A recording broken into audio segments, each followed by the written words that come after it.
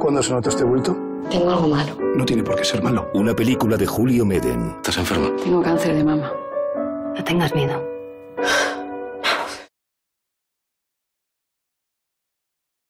No, na- nada personal con la enfermedad. Fue simplemente que estuve en el Museo de Arte de, de Düsseldorf en el 2006 y, y vi una escultura de bronce. Se llamaba eh, Brossenfrau número 6 de, de Thomas Schutte. Bueno, el caso. Em, Una mujer también natural eh, por el suelo retorciéndose de, dolor. No me sabía muy bien si le iba a salir una masa maligna por un sitio, si a la vez iba a parir un, niño, había también un pecho. Es una figura que en principio la, rechacé al verla, bueno, rechacé, me produjo un sentimiento de, repulsión. Y luego, sin embargo, cuando salí del museo volví otra vez a, a entrar para verla y se me quedó en la memoria de una manera muy interesante, vamos a decir, para... Y de ahí surgió. O sea, de alguna manera el, el- primer brote o el primer germen de, de mama es, es- de bronce, es esta mujer de bronce. ¿no? Y bueno, escribí ese guion, lo escribí enseguida. La verdad es que tardé poco porque bueno, me metí mucho en esa historia. Em, llamé Magda a esa mujer, también muy al principio, y bueno, y, y esa idea, ¿no? De, de mientras muere, estar dando vida, parecía importante, y, ese fue el origen.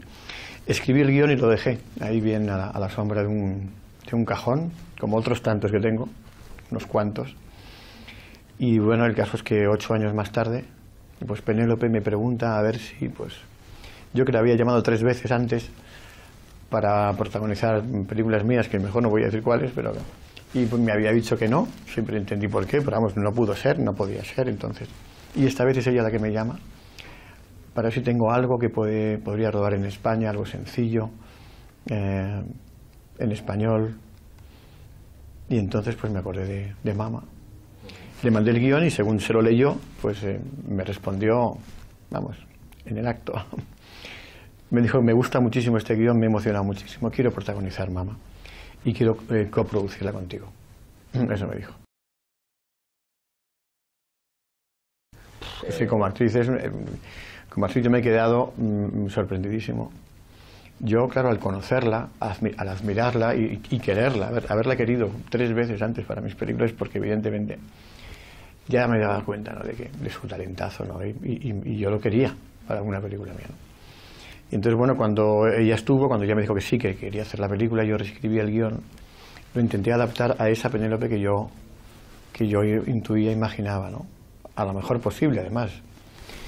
Y luego, claro, pasó que rodando la historia, pues me encontré con una, con una actriz de un talentazo que yo no, no sospechaba. O sea, estaba ya a una altura mayor de la que yo imaginaba, ¿no? Mucho mayor. También es verdad que ella luego participó mucho y muy bien en el guion. En las versiones mm, sucesivas, en la preparación de la película, ella es muy clara, es muy precisa, es muy de tierra. También tiene un, bueno, tiene su, su lado intuitivo y, y por ahí hemos conectado muy bien. Y lo que estaba es haciendo, aportando al personaje, pues eh, humor, mm, pues sustancia, materia, carne, verdad, muchísima verdad. Sí, claro, el, sí, el canto a la vida eh, está. Evidentemente es una intención y es algo que, que se persigue.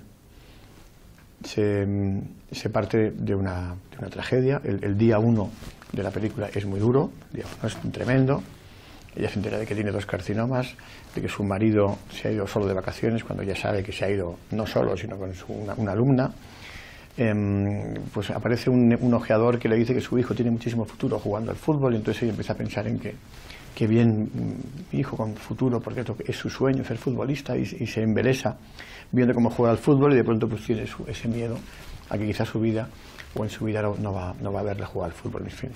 Y luego está al lado de este hombre que, que tiene la peor tragedia que puede tener un hombre que está casado con, y tiene una hija. En fin, de pronto, mm, el día uno es tremendo, eh, era también un riesgo afrontar un día uno de la historia así tan bestia, ¿no? Pero él, ella mejor dicho, lo que también tiene es la, la ocasión entonces de acompañar y de ayudar a Arturo. Y ahí se plantea algo que es, que es muy interesante en la historia, en la película, en toda la película, que es la relatividad del sufrimiento. Ella, ella está sufriendo mucho menos que él. el sufrimiento de él es, es tan, es tan mm, devastador que también el espectador entonces está con ella.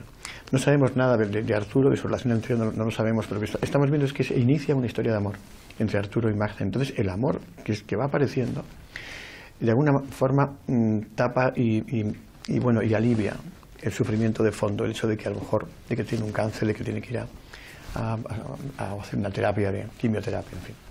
Y en la segunda parte, el otro, vamos a decir, aspecto y aparición que nos hace plantear que también pues, el sufrimiento relativo es el hecho de que eh, se quede embarazada y que tenga dentro una niña que está creciendo en sus entrañas. Entonces estamos todos, bueno, nos ponemos contentos porque ella entonces puede me- realmente, queremos que vea a su hija, queremos que esa, esa niña viva, estamos hablando de vida. Entonces la película, pues eso, partiendo de algo trágico y teniendo siempre la tragedia y que está de fondo, lo que hace es seguir a un personaje que, que está apreciando en todo lo que puede la vida, porque ella dice además que lo que cree es en la vida, no cree en el más allá, no cree en la trascendencia de su alma, pero cree en la vida.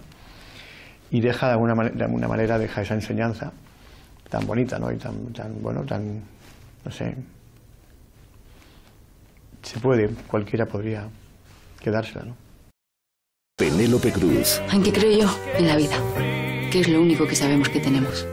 Por eso seguimos vivas. Mama. Solo en cines.